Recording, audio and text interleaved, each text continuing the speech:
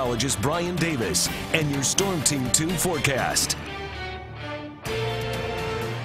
Well, a couple of isolated showers out there this evening, and they won't be around for long. Once we get to around 9 o'clock, everything should tend to die out. 83, 7 o'clock, 77, 9 p.m., down to 73 under clear skies at 11 o'clock. And then uh, tomorrow morning, we'll once again have the chance some of those patchy areas of fog. 70 degrees, otherwise mostly sunny at 8, and then partly cloudy skies noon and into the afternoon, and uh, 5 p.m. temperature at 88. So look for partly to mostly sunny skies through the day tomorrow. An isolated early evening shower. Uh, that's at least a possibility tonight if you're heading over to the Greene County Fair. Looks like mostly dry weather there. Just keep an eye to the sky. Can't rule out a couple of raindrops. 83, 7 o'clock, and should be certainly dry at 10 o'clock. Mostly clear in 75. Heat will be building over the weekend. Low chances of rain for us. We'll have a better chance of rain early next week. That'll be primarily as we head toward Tuesday. Ozone levels tomorrow will be getting up to about 101. Now, there's not officially an air pollution advisory in effect, but that is unhealthy for sensitive groups. So if you have any lung or heart issues, uh, the young, uh, the elderly, uh, look out uh, tomorrow afternoon, early evening. That's when we'll see those highest ozone levels. Forecast low temperatures tonight dropping down into the 60s for us, mid 60s. And tomorrow afternoon, we're expecting values to climb back into the upper 80s in the afternoon. A little warmer than today, up into the mid 80s. And look at the readings around 90 west of us. Some of those will get up our way on Sunday, and heat index numbers will be climbing into the low to mid 90s on those days.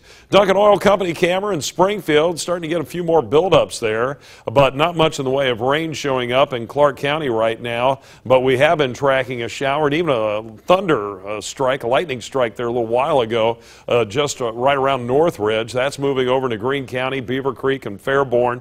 Other showers trying to get going. It looks like just southeast of Enon, and then uh, farther to the north there around Bellefontaine Mountain. We've been tracking a shower that was moving through. Uh, that appears to be dying out. And then another shower approaching 127 in northern Darke County. That was a little more intense north of Union City. We have this front moving south tonight. That'll just wash out over Ohio as we go through the weekend. But the remnants of that boundary still uh, could kick off an isolated afternoon or evening shower or thunderstorm over the weekend, primarily Sunday. 81 right now in Dayton, south wind at 6, 58% the relative humidity. And and looking at temperatures tonight, Barbara Richards and Kettering in the upper 80s at 88. Tom Wyckoff in Springfield, 86 degrees. David Wessler, the hot spot out there in uh, western Ohio. New Paris there reporting almost 90. We'll see any showers die out quickly this evening. Skies become mostly clear and it looks like we'll see dry weather through the day. Tomorrow, uh, just very low rain chances, primarily west and south of us.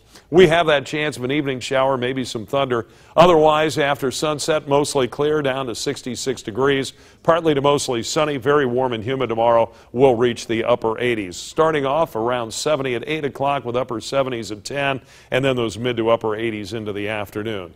On Sunday, very low chance of rain up near 90, a little better chance of rain Monday, 88. Cold front arrives Tuesday. That'll be the best chance of rain over the next seven days, 85. And then decreasing rain chances after that. Temperatures just kind of staying close to seasonal norms after Wednesday. All right. So as you said earlier, don't change your plans. Not a lot of No, rain. that's just very isolating. You know, you probably about